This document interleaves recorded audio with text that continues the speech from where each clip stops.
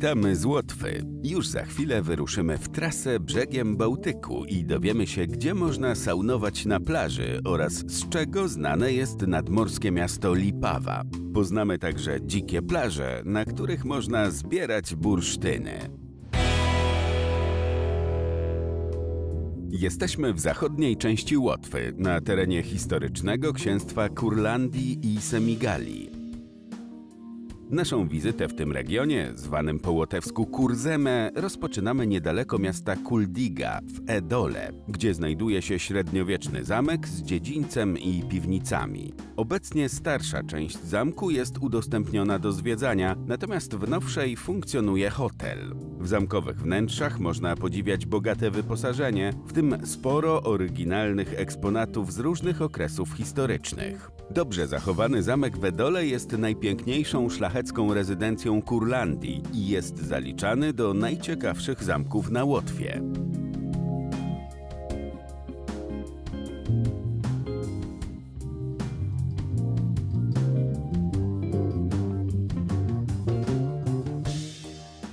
Udając się do zachodniej części Kurlandii, przejeżdżamy przez miejscowość Alsunga. W centrum dziedzictwa kultury Suiti mamy możliwość skosztowania wyjątkowej potrawy o nazwie sklandrausis, która podawana jest w tym regionie jako deser. To przekąska zrobiona na bazie ciasta z żytniej mąki z dodatkiem pasty ziemniaczano-marchewkowej i kminku. Jest charakterystyczną potrawą dla miejscowej społeczności zwanej Suiti, czyli grupy etnicznej z ponad 400-letnią historią, której bogate tradycje zostały wpisane na listę UNESCO. Społeczność Suiti, składająca się w większości z luteran, posługuje się dialektem języka łotewskiego, w którym występują także polskie słowa.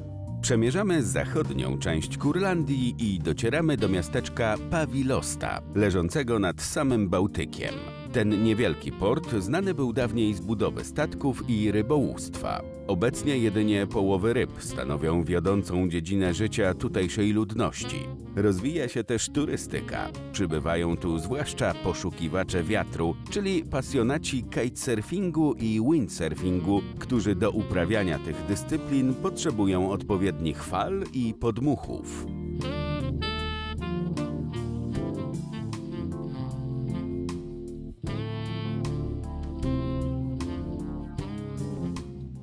Z pobliskiej dwupoziomowej platformy widokowej widać szerokie wydmowe wybrzeże i falochron.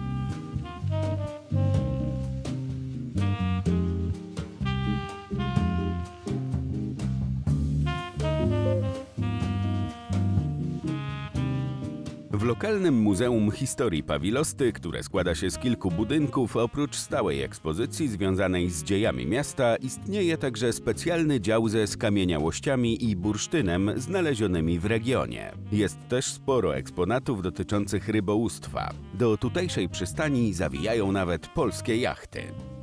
Podróżując brzegiem Bałtyku, docieramy na przylądek Akmenrax, gdzie znajduje się latarnia morska o tej samej nazwie, wybudowana w 1884 roku i jest udostępniona do zwiedzania. Po pokonaniu ponad 120 schodów, turyści mają wspaniały widok na morze i piaszczyste dzikie plaże.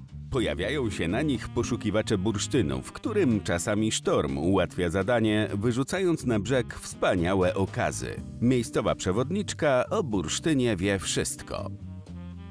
W jednym z nadmorskich kempingów trafiliśmy na wiele ciekawych atrakcji, które czekają na podróżujących po zachodniej Kurlandii turystów. Są tam m.in. domki osadzone na drzewach z komfortowym wyposażeniem oraz zjazd linowy, czyli tzw. Tak tyrolka pośród drzew. A na plaży rzadko spotykana rzecz drewniany domek, w którym znajduje się sauna. Ta atrakcja cieszy się sporym zainteresowaniem zarówno w ciepłe, jak i chłodniejsze dni. Wprost z sauny można od razu wejść do morskiej wody. Przy okazji pobytu na kempingu poznaliśmy proces wędzenia ryb, a najlepiej smakują te złowione w Bałtyku: flądra, makrela i szczupak morski.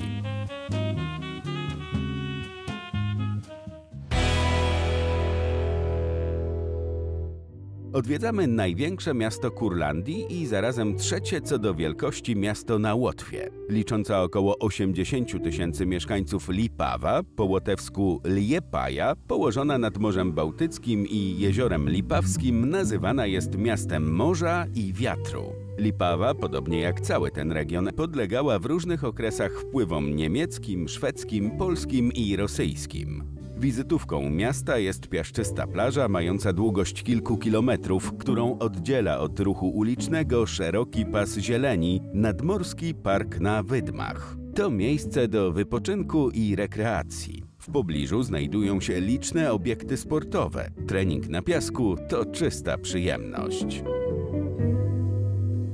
Lipawa posiada wyjątkowe targowisko z budowlą w stylu secesyjnym z początku XX wieku. To jedna z pereł wśród pawilonów targowych w Europie. Peter Tirgus, czyli Targ Piotrowy lub inaczej Targ Piotra, działa od 1910 roku. Dolną część budynku zajmują stoiska ze świeżymi rybami, które dostarczane są tutaj bezpośrednio z kutrów. Ryby pochodzą z pobliskich jezior oraz z Morza Bałtyckiego i Morza Północnego, a nawet z Oceanu Atlantyckiego, bo tam łotewscy rybacy również poławiają. Spośród wielu gatunków ryb można tutaj kupić flądrę, lina, makrelę atlantycką i szprotki. Do nabycia są też dość pokaźne okazy, takie jak chociażby zębacz, zwany wilkiem morskim. W Lipawie urodziło się wielu znanych i popularnych łotewskich muzyków, dlatego miasto określane jest mianem muzycznej stolicy Łotwy. Muzyka w Lipawie towarzyszy nam dosłownie na każdym kroku. Podążamy za nutami, którymi oznaczona jest blisko 5-kilometrowa trasa turystyczna o tematyce muzycznej, wiodąca przez miejsca związane z koncertami, znanym festiwalem muzyki rockowej Bursztyn Lipawy, aż do hali widowiskowej Great Amber. Tam akurat trafiliśmy na występ harfistki. W sali koncertowej wystawiana była także opera pod tytułem Suitu Saga o wspomnianej już wcześniej społeczności Suiti, zawierająca wiele polskich akcentów. Z kolei podczas wizyty w katedralnej świątyni ewangelicko-augsburskiej z połowy XVIII wieku, stanowiącej łotewski pomnik kultury, zwiedzający mogą zobaczyć pokaz gry na organach i posłuchać jak brzmi ten zabytkowy instrument. Będąc w kościele luterańskim Świętej Trójcy, można także wspiąć się na szczyt 55-metrowej wieży, skąd doskonale widać panoramę Lipawy doznań artystycznych ciąg dalszy. Tym razem odwiedzamy galerię malarstwa, znajdującą się w podziemiach Art Hotel Roma. W zabytkowych piwnicach znajdują się obrazy pochodzące m.in. z okresu dwudziestolecia międzywojennego, z czasów gdy Łotwa wchodziła w skład ZSRR oraz z przełomu XX i XXI wieku. Po drodze zaglądamy jeszcze do domu rzemieślników, w którym znajduje się 17 warsztatów znanych z wytwarzania unikalnych rzeczy. Pracujący tutaj rzemieślnicy pochodzą z regionu Kurzeme i ich celem jest zachowanie kulturowego dziedzictwa przodków. Zwiedzający mogą zobaczyć m.in. technikę tworzenia strojów ludowych, które trafiają do regionalnych zespołów artystycznych, proces robienia świec oraz wyrobów z drewna i wikliny. Jest tu najdłuższy bursztynowy sznur korali na świecie. Ma on 123 metry długości i wykonany został z 17 tysięcy kawałków bursztynu.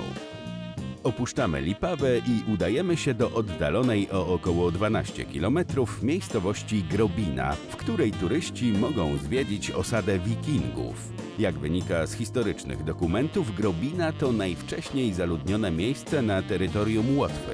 Na przestrzeni wieków rządzili nim wikingowie kurońscy i skandynawscy. Pamięć o wikingach jest kultywowana w tutejszej wiosce, gdzie odbywają się liczne wydarzenia, m.in. Festiwal Wikingów, w którym uczestniczą pasjonaci rekonstrukcji historycznych z krajów bałtyckich. Obok dawnego grodziska, zamieszkiwanego przez plemię Kurów, znajdują się ruiny średniowiecznego zamku kawalerów mieczowych, do którego można dotrzeć łodzią wikingów. I to już wszystko z naszej wyprawy po zachodniej Łotwie. Kolejne premierowe odcinki turystycznej jazdy już niebawem.